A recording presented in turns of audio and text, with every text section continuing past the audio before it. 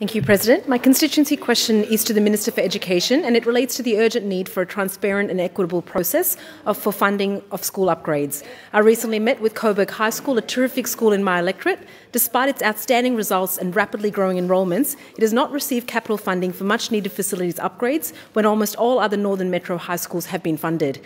I heard from passionate students like Gemma who are frustrated by the limited space and facilities for hands on learning.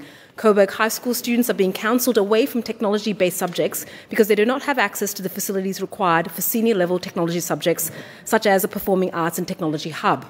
They also are in need of an assembly space and appropriate sports facilities.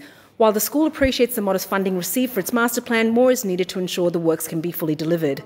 Gemma stated, I hope the government can help us make our great school even better with better performing arts and technology opportunities. Minister, when will the students and community of Coburg High School receive funding for their much needed capital works requirements?